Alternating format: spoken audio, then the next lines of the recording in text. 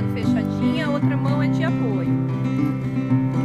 Pode apoiar, não tem problema, igual você estava fazendo, tá fazendo certo.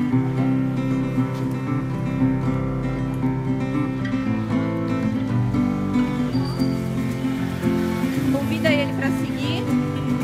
Ótimo. Usa a mão de apoio para não deixar a guia tão comprida, tá?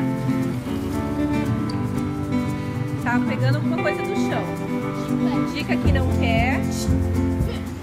Segue.